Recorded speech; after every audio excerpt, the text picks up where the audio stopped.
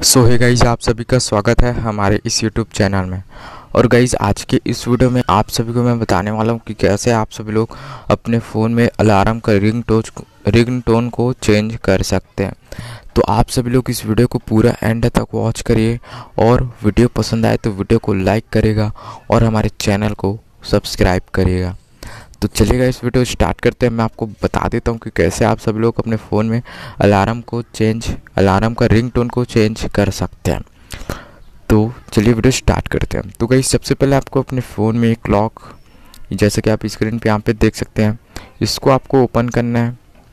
Open करने के बाद गई यहाँ पे आपको सबसे नीचे में ऐड अलार्म करके एक ऑप्शन मिलेगा तो आपको उसको क्लिक करना है।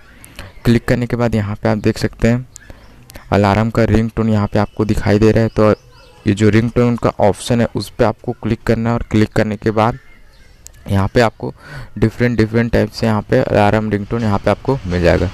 तो अब आप इसमें जो भी यूज़ करना चाहते हैं, उसको आप यूज़ कर सकते हैं। यहाँ पे आप सेलेक्ट कर, मेरे को गई ये वाला ये वाला जो होता है, ये वाला रिंग टोन मेरे को बहुत ही अच्छा लगा है।